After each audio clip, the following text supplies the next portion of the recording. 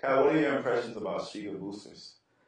Man, they are uh, awesome, man. They um like especially this year like I don't know how it's been past years, but you know, like things were pretty rough for us um Mm-hmm. for for a long time and it, it never ever felt like the fans um turned against us.